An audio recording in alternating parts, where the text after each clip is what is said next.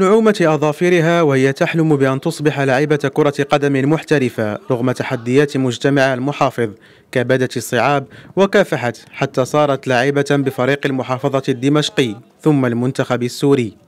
من أنا صغيرة كنت ألعب كرة قدم فأهلي متعودين علي إنه بلعب كرة قدم بالحارة مع الصبيان بالمدرسة بفرق المدرسة.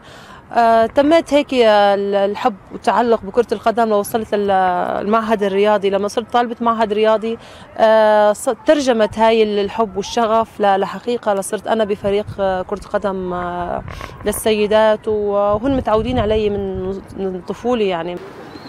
لم يكتب لحلم مها جنود الاستمرار حيث تعرضت لإصابة حرمتها المستطيل الأخضر لتلازم دكة الاحتياط قائدة لفريق المحافظة للرجال متسلحة بخبرة طويلة وشغف كبير. فكرة كتير كانت آه، جميلة وجديدة على المجتمع وعلى آسيا بشكل عام.